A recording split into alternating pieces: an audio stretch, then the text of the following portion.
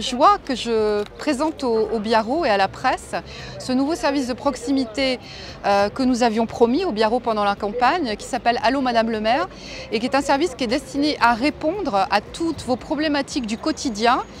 euh, que peuvent être un trou dans le trottoir, une problématique de poubelle, une problématique de bruit, une problématique de lampadaire euh, cassé.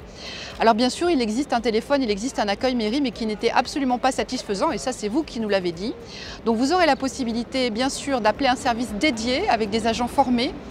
qui sont polyvalents, qui pourront répondre à toutes vos questions, qu'elles concernent la ville ou l'agglo. Vous aurez également, et ça c'est nouveau, un accueil physique en mairie, ouvert tous les jours et une fois par mois le samedi matin, dans lequel nous répondrons à toutes vos demandes, et bien sûr une application qui permettra 24 euh, heures sur 24 de déposer vos demandes. Et la grande nouveauté, c'est euh, ce véhicule habillé aux couleurs de Allô Madame le maire,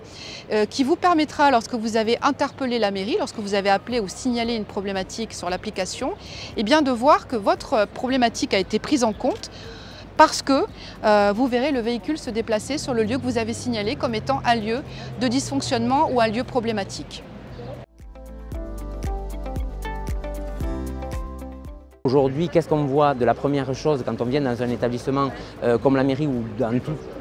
établissement administratif? C'est le pôle accueil. Euh, et ce pôle accueil, euh, quand on voit qu'il est composé d'une équipe euh, d'hommes et de femmes qui ont choisi d'adhérer à la chose, quand on voit qu'ils ont suivi ce parcours de formation, quand on les voit souriants, quand on les voit